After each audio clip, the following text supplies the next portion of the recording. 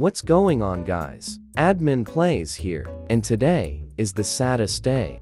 My laptop broke. Like, for real, I broke it because I was cracking on Fortnite and I got mad and broke my laptop. I lost guys, and I had it in 2019, brew. But lucky, I'm moving into a new house and getting a PC, which is a W, right? Also, today is the saddest day on YouTube and the Game Theorists is quitting like today. I know, it's so sad that is quitting, but we have to move on to the next generation. But not the Skibidi toilet.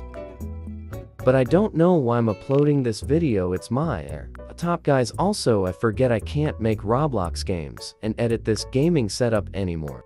One like equals one laptop fixed. Thank you for watching. If you watched this far, please like and subscribe for more videos like this. And its Admin Playz out. MatPat, enjoy your retirement.